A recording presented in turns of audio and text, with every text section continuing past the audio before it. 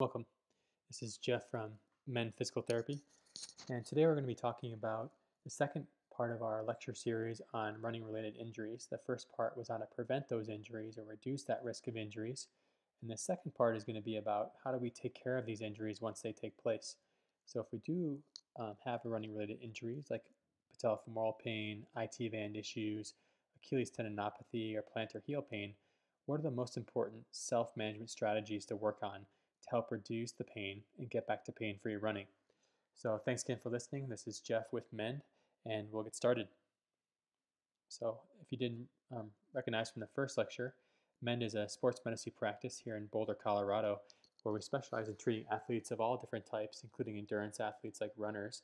We really pride ourselves on getting people better in fewer visits that we're not going to take 10, 12, 16 visits to get someone better with a sports related injury, but we're going to be on top of it right away because we pride ourselves on being great problem solvers to both identify what's the tissue that's causing your pain and what are the contributing factors to that tissue. Is there an associated impairment of weakness or mobility or a training error or gait mechanics, something that we can work on together to get you better faster, again, identifying the underlying or root cause of the injury. You can find out more information about our practice at mendcolorado.com. So, running is a very popular sport, especially here in Boulder, Colorado, where we see a lot of athletes take place in running. And with the running that they do, it's a very easy access point where it doesn't require much training. It only really requires a pair of running shoes. But despite all these advances in running, with more runners running, with more technology like running, gait analysis, and shoes and clothing, we still see a high rate of running related injuries, with up to 90% of all runners reporting a running related injury in their career that impacted their ability to train or compete at the level they desired. So, one of the most common risk factors of having a running related injury is having a prior injury. And oftentimes, runners return to running after having an injury without rehabilitating their body back to 100%. And that can set them up for another injury in the same area or another an injury in an adjacent area. So we find that when most runners return, they don't quite get back to the same level of running. They're not able to train as hard, they're not able to compete as hard. If they were once a marathon runner, now they're going to be becoming a half marathon runner or maybe a 10K runner. So in this presentation, we'll be talking about really the four most common running related injuries. Thinking about knee pain, thinking about Achilles tendinopathy, that's something we used to call Achilles tendonitis, plantar heel pain, and also IT band syndrome. Most of these running related injuries will occur due to the common injury pathway of overuse, where the load or the volume of our training exceeds the tissue's capacity to adapt and recover. And if we don't give that tissue time to adapt and recover, that overload can create an injury pattern. Just like you can imagine with the best example probably out there is for bone. If we were to load a bone with exercise, we can expect more bone density and a stronger bone. But if we don't give that bone enough time to recover or we load the bone too much too fast, that's when we can develop a stress reaction, stress fracture. So we want to try to load tissues properly, but give them time to recover and train to avoid that common pathway of injury. We can also see a overload injury by taking a tissue like the plantar fascia and loading it too much, more than it was designed to tolerate, which develops more of an overuse pattern as well. And we may be overloading the plantar fascia because other adjacent areas are not doing their job. So the ankle is not bending properly. The intrinsic muscles of the foot have become weak, which causes that overload of the plantar fascia. So a lot of times we can ask, how long would this injury take to get better? And on average, if we look at this study, it can take about two months for a running related injury to get better. So it's a long time and we want to spend our time on prevention. That was the goal of the first talk. But if the injury does take place, we can have reasonable expectations for how long this injury is going to take place to get better. And if anybody is telling you they're going to get better quickly with a tendon injury or a running related injury, I'd be very cautious about that and ask good questions because you know, if you look at the data, it can be sometimes a slow process, especially in a tendon, to get that patient better. It's not going to be in a one visit kind of magic wand type treatment. So with different running related injuries, we can kind of incorporate our impairments into two broad categories thinking about a mobility category, what does the joint need from a range of motion or flexibility standpoint, and also from a stability standpoint, um, what are the areas we need to work on from a weakness perspective. And oftentimes we'll see these two categories interplay with these different diagnoses that we'll talk about today. That areas that are further away from the center of the body often require mobility, and areas that are closer to the body often require more strength or stability. So thinking about a patient with patellofemoral pain, they may require mobility at the ankle, but they oftentimes require more strength or stability at the hip and the core. So patellofemoral pain is the most common reason you seek out care for hip, knee, or ankle issue. It's also the most common running related injury, with about one in four runners, excuse me, one in four injured runners will be diagnosed with patellofemoral pain. We see that the issue is twice as likely in females versus males, and it doesn't have a great prognosis on its own. If we just were to follow this over time and just kind of use a wait and see approach, up to 90% of patients that have this pain will still be symptomatic at four years.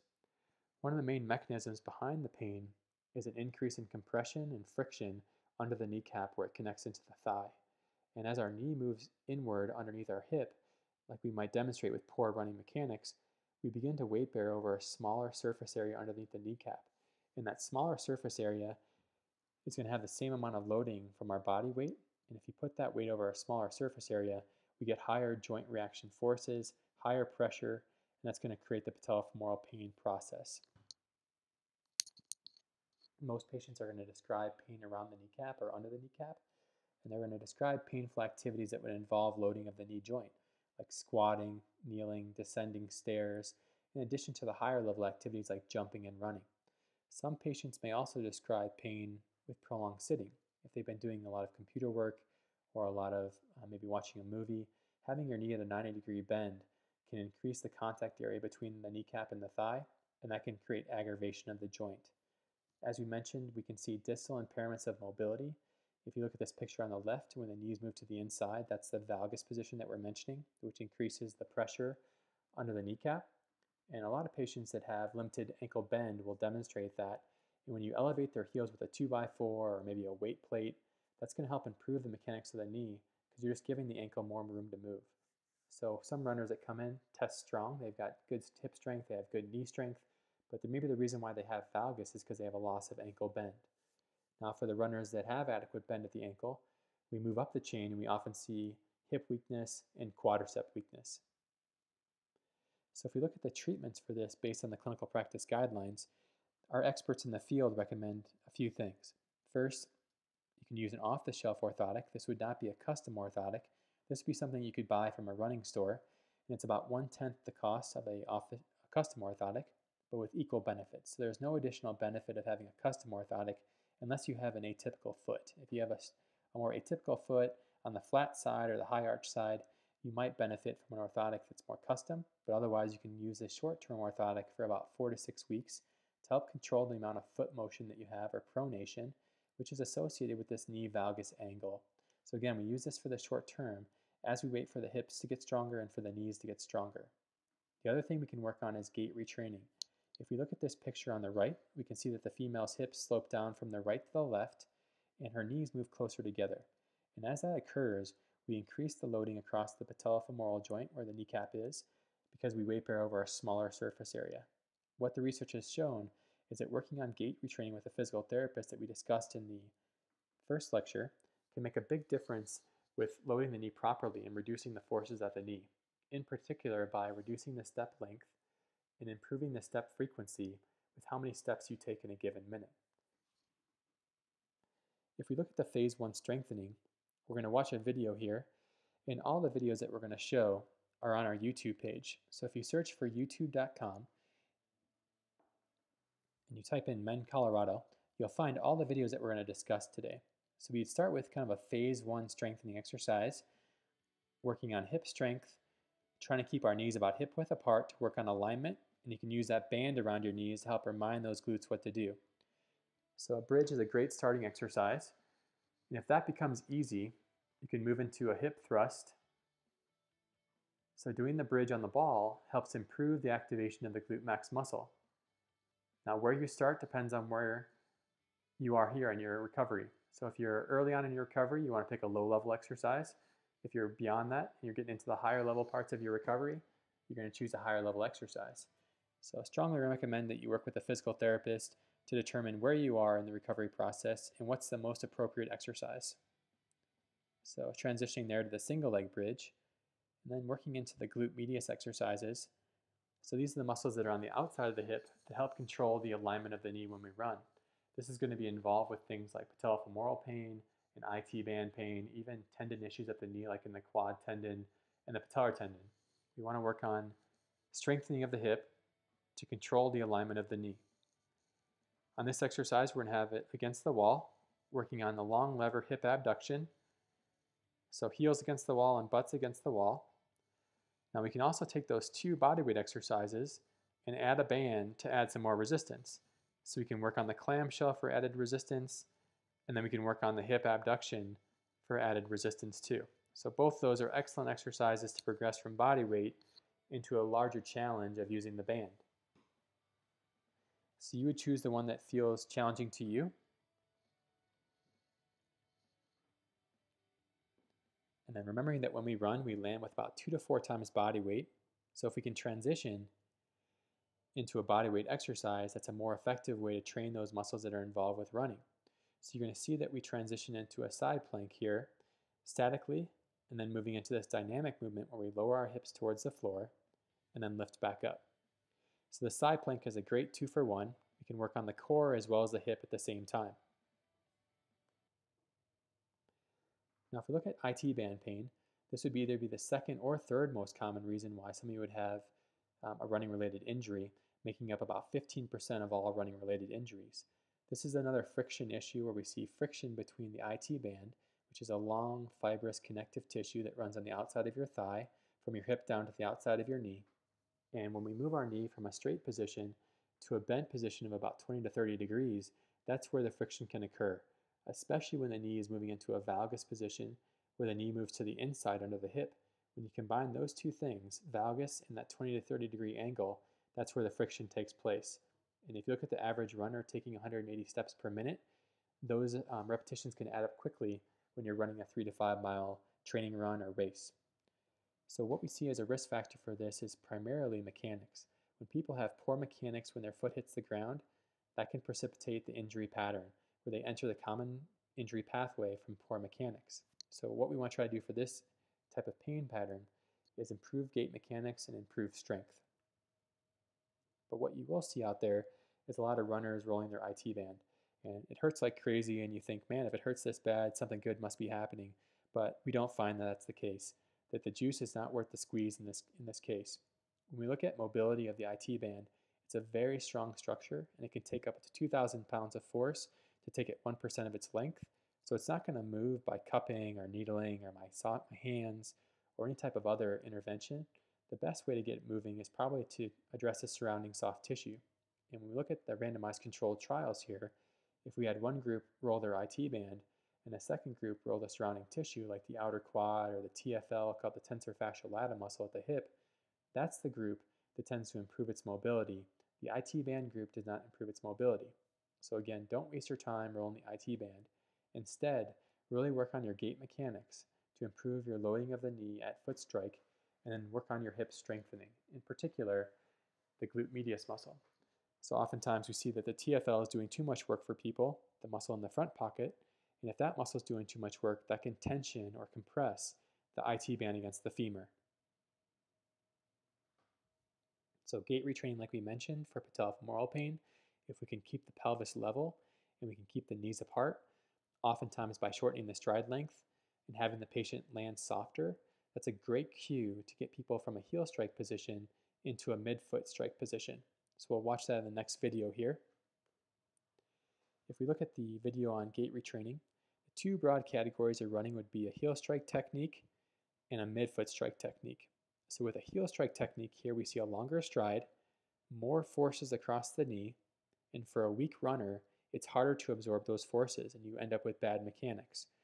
If you're a strong runner, you can probably compensate for bad mechanics or for a heel strike pattern. So for that injured runner, if we can give them a cue to land softer, that'll get them into more of a midfoot strike position reduce the forces across the knee, and help improve the mechanics of the knee joint to avoid the friction between the IT band and the bony prominences at the knee. So gait retraining is an excellent way to improve IT band issues.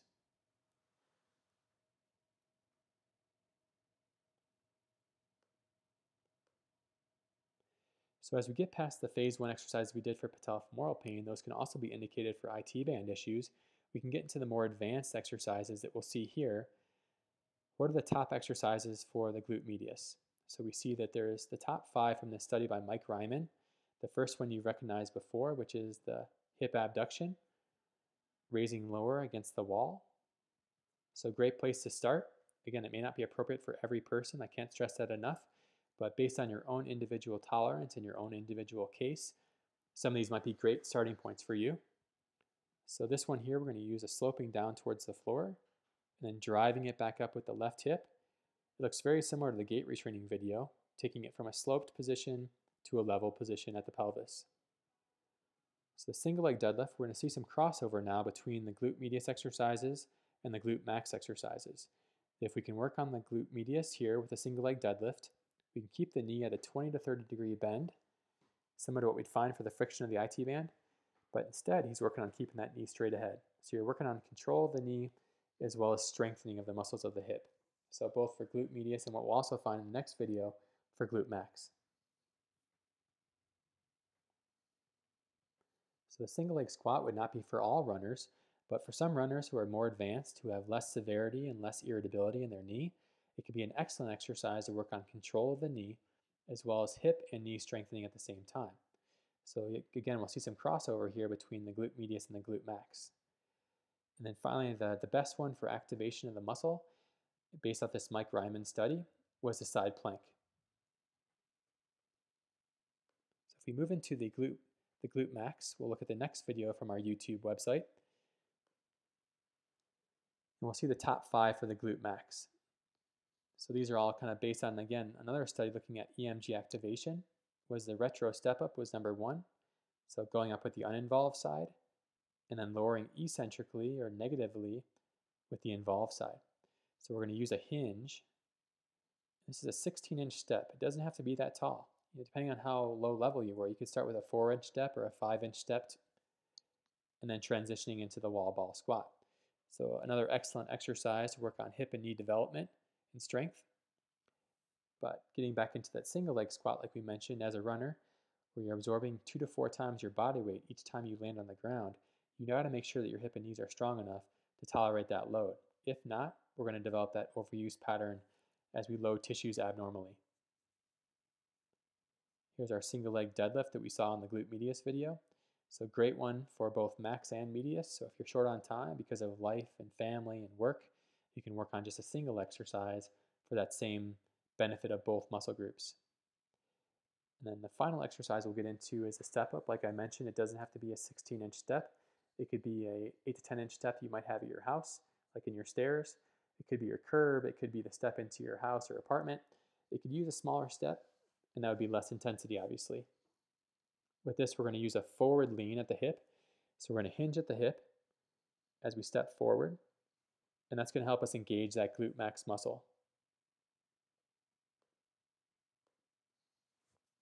How about knee arthritis? We talked about this a lot in the first video, that we've really changed our mind about running in knee arthritis, that the research so far has shown that running history, if you had been a runner, is not associated with the development of knee arthritis. So we don't have to stop running for fear that we're going to develop knee arthritis. In fact, when we look at recreational runners compared to their sedentary peers, recreational runners have about one third the incidence of knee arthritis compared to their sedentary peer. One group that we might have a higher incidence are professional runners who are running multiple marathons per year, and that high training volume might make them more susceptible to knee arthritis with an incidence around 13%. Um, when we look at knee arthritis, it's going to happen to all of us. All of our joints are going to age over time, starting in about age 30, now, what determines if you're going to be symptomatic or non-symptomatic would be the amount of strength that you have. And if we look at this picture on the right, this hiker, if we look at his left quad, he has got nice definition, nice bulk in the muscle. We can assume that that's a strong quad. If we look at the right side, there's some atrophy, some flattening, less definition of that quad. And despite these knees having the same age and the same number of miles on them, the right one might be more symptomatic because it's the weaker leg. So again, because we have arthritis on an x-ray is not a direct correlation and a direct effect on having pain. A lot of people can have arthritis and not have pain, In fact, in the older population, we see that if we took x-rays of all of our parents or grandparents, we might find arthritis, but then about 70% of those people will remain asymptomatic and will not have pain. So the main muscle we're going to go after for these patients is oftentimes the quad, and the exercise becomes the foundation and bedrock of a treatment approach. And again, like the other issues we've talked about before, and really everything we're going to cover in this talk, physical therapy remains the first line treatment for knee arthritis. That they can do very well with physical therapy, especially an approach involving manual therapy, where we mobilize stiff joints, we reduce the pain across the kneecap and across the main hinge joint of the knee, and combine that with high level exercise. And that approach combined has been shown to delay or prevent the need for a knee replacement down the road. If we use more of a multimodal approach and really incorporate education, exercise, manual therapy, and sometimes weight loss, that might be our best approach to keeping somebody running. Again, running is not going to be something that we're going to stop in a patient with knee arthritis. It has not been shown to worsen the x-ray radiological evidence of arthritis, and it may have a protective effect by improving the circulation to that knee joint and improving the circulation to the cartilage. So as we look at quadricep strengthening in this video, we can start with a open chain exercise where we're not in weight bearing with the ground by looking at straight leg raising. And as he pulls up into the band with his foot, that's going to help him engage that quadricep muscle. So you could do it without weight, you could do it without a band, but if you wanted more of a challenge, you could wear a heavier shoe or a heavier boot as you go through that exercise piece. So oftentimes we find that if we combine that open chain with some more weight bearing exercises, that's a very effective way to help train the quad. So in this Spanish squat, he's got a band around both knees. And as he goes into his little air squats here, that's going to help him work on his quadricep control as he pushes back into the band and engages that quadricep muscle. So starting again with both feet in contact with the ground, and then we'll see him progress into single leg exercises, into a single leg squat, as he engages that quadricep muscle by pushing straight back into extension, and then incorporating what we learned already about the glutes into more of a step up exercise. So we can incorporate the step up by engaging that quadricep muscle. So again, for knee arthritis, we're going to work really hard on strengthening that quadricep muscle. It's the main shock absorber for the knee joint. How about Achilles tendon pain? So that's an area that has also changed. It's been shown to be maybe the second most common or the third most common running related injury. And we see that the main risk factors for Achilles tendon pain is a lack of ankle bend or dorsiflexion, as well as calf weakness. If the calf becomes weak, it cannot shield the Achilles tendon from the forces of running. And for a midfoot striker, the calf is so important to absorb forces. And if you're running with a weak calf, that can cause Achilles tendon pain. This could be a runner that we could shift towards a longer stride and get them into a longer stride, which can decrease the loading of the calf and Achilles, and that might help them into the short term as they return to running. This is something we used to call an itis. We used to call it Achilles tendonitis because we felt there might be a lot of inflammatory cells in the tendon. Things like ibuprofen and rest and wearing a boot might be indicated, and that was back then. But if we look at the current research, we know that there's not inflammatory cells in the tendon, that there's more of a cell turnover taking place. And that cell turnover is where these old injured cells are being replaced by new, healthy, but immature cells. And these immature cells do not have the same tensile strength as strong, healthy ten. So we want to try to help remodel those cells from an immature state back into a mature state with exercise, including running and strength training. That's probably the best way to get that tendon to remodel under constant load. If we just leave it alone and do nothing, it might feel better because you're doing nothing, but as soon as you get back into running, it's still going to hurt because the tendon is still immature and the muscle is still weak. So if we look at this remodeling process, it can take a long time, sometimes up to 10, 12 months, even up to two years to help improve that remodeling of the tendon where it becomes more stiff, where it reduces its thickness, and it becomes more mature. If we look at the picture here on the right, where the arrow is, the yellow arrow, that's more of a mid-portion Achilles tendinopathy.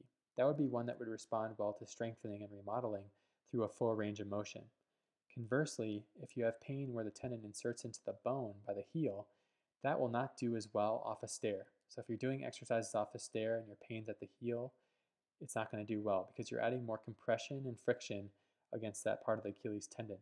You would be better off strengthening from the floor up onto your toes. So that'd be the main difference with strengthening for a mid-portion Achilles tendinopathy or an insertional tendinopathy. Again, in the short term, we can expect improvements in about 8 to 12 weeks because the calf gets strong enough to shield the Achilles tendon. And a lot of athletes will stop there. They'll say, yeah, it's not feeling painful anymore. They kind of lose that motivation to exercise, and then the pain returns. And what tended to happen was that the muscle was strong enough to compensate, but the tendon was still weak. And so if you want to reduce the pain and get rid of it for good, you want to try to strengthen up to 12 months, and that'll be your best chance to reduce that risk of recurrence of the tendon. So we can again promote that full tendon remodeling. So we can start with the ones you probably found on the internet. Looking in the internet, you'll find heel raises based on that Alfredson protocol from the mid 90s. But we know now that we want to try to just strengthen the tendon as well as the surrounding tissue as well. So thinking about how do we incorporate the hip, how do we incorporate the knee along with that tendon. And that's where we get to this triple extension that we'll see in this next video. So starting with more basic exercises.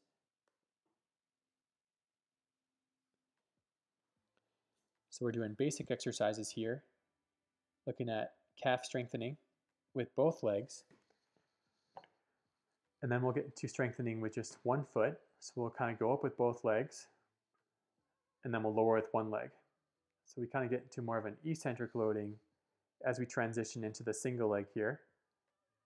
So up with both, and then using the negative with just a single leg. So it's a great stepping stone from using two legs to just using one leg for the calf strengthening and helping remodel that tendon.